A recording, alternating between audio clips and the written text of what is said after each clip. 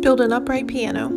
Today we're gonna build this piano. Sims 4 comes with a grand piano and you get a keyboard with the city living pack, but there's no upright piano, so we're gonna make one. Make sure you have bb.move objects on, place your keyboard and then pick out a dresser that you like. I'm using this base game one, place the bottom dresser wherever you like, then you're gonna use the 9 button to move the second dresser up and alt to freely move it into place. And there you have it, a working upright piano.